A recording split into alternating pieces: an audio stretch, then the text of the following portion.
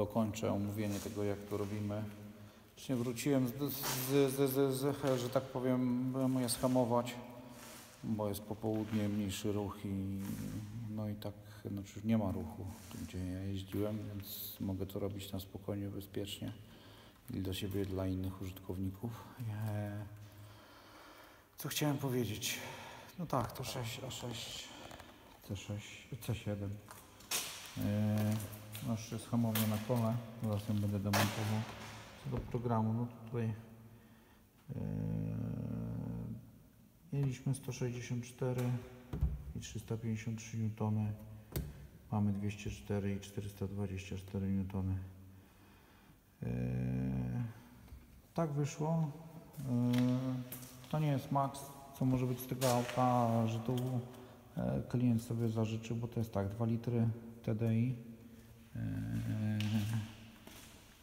C7 z CLGD motorem, czyli ten 163-konnym w automacie, czyli w, w multitroniku, więc ta skrzynia, że tak powiem, no żeby było bezpiecznie, to, to, to, to ten moment jest, jest, jest, jest optymalny, on przebiega dość łagodnie. Może wykres na hamowni tego aż tak nie, nie wiem czy to pokazuje. Pokazuje, że, że przebiega mniej więcej tak jak był. Nie, ale w odczuciu kierowcy na pewno jest, jest, jest, jest bardzo e, płynnie, nie ma tam nie, niepotrzebnych przyrostów mocy, szarpnięć, z, z kręcenia kołami.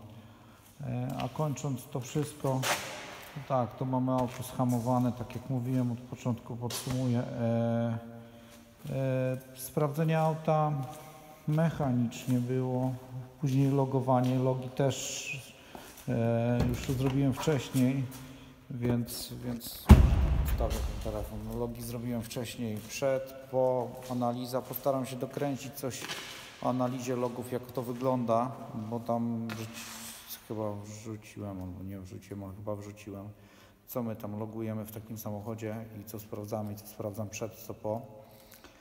Też postaram się wrzucić, yy, żeby to było ważne. Znaczy, Na pewno się komuś to też przyda, bo wiele osób po prostu tego nie wie, co logować, co nie, więc yy, ja też nie wiedziałem. Nie powiem, bo, bo, bo to jest kwestia czasu i rozmowy i, i, i co się de facto zmienia.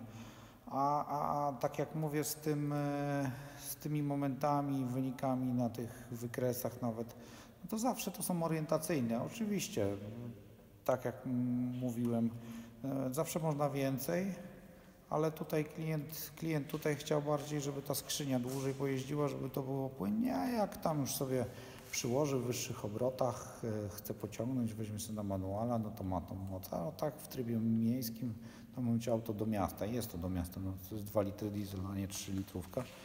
Więc wydaje mi się, że będzie zadowolony, znaczy na pewno będzie zadowolony, bo porównaniu nawet mi e, się jeździło, a poświęciłem troszeczkę, jak, jak zawsze z każdym autem, e, poświęciłem trochę czasu na to, e, żeby zlog- zlogować przed, zlogować po, teraz zmierzyć na hamowni, no to jest po prostu przyjemność z jazdy, tak? Ten, to, to nie chodzi o to, że ono lepiej zapierdziela, bo mm, fajnie ta skrzynia w ogóle pracuje, nawet nie, nie ścigając się, a jak chcemy, to mamy te parę newtonów więcej i, i, i no i tyle. Tyle w podsumowaniu, tak? Kolejny zadowolony. Eee, tutaj dlaczego była skrzynia robiona? Skrzynia była robiona, bo klient chciał, żeby troszeczkę wyżej, eee, troszeczkę wyżej tutaj te, te biegi, ten, ten, ten Tiptronic trzymał i tak żeśmy podnieśli około 200 obrotów, w, żeby ona trochę wyżej, jak się jedzie w takim cyklu miejskim, żeby ona troszeczkę wyżej trzymała, dlatego że jednak w tych warunkach tutaj e, norweskich to to auto dłużej się grzeje, to jest wszystko to, co tam mówiłem, opisywałem na stronie swojej, ekologia, ekologia, ekologia, że mają być najmniejsze emisje, no i te emisje tam do tego prowadzą, tak, a diesel jednak najlepszą sprawność ma, wiadomo, że troszkę wyższych obrotach niż 1400 i akurat w tym samochodzie, więc to spalanie tak naprawdę nie wzrasta, a, a, a, a, ten motor będzie chodził i filtr będzie się czyścił szybciej, dłużej, lepiej. E, z tego względu chciał te obroty troszeczkę podnieść, żeby ona inaczej jednak... No CTV, jak wiecie, to jest tylko wirtualne te biegi, bo to tylko się wyświetla, ona jest tak naprawdę płynna. Nie ruszaliśmy tego żadnych tam, e, mm, że tak powiem, przełożeń, bo to nie, to, to nie na tym polegał program tej skrzyni, tak naprawdę tylko zmieniliśmy, żeby troszeczkę wyżej, dłużej trzymała silnik, zanim zmieni na, na, na następny, znaczy dłużej, wyższe obroty silniku, żeby utrzymywał, zanim zmieni przełożenie. E, I delikatnie ruszyliśmy tam czas zapięcia, ale, ale żeby to mm,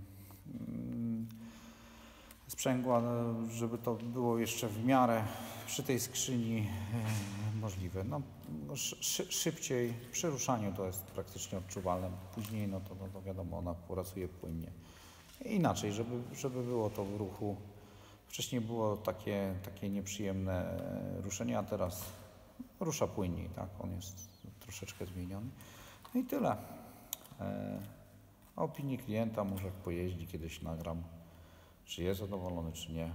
Mam nadzieję, że, że, że, że, będę miał taką możliwość, żeby go nagrać i, powiedzieć, jak, jak, jak, jak, się skończyła jego, e, jego podejście, czy jest zadowolony, czy nie jest zadowolony. Pozdrawiam.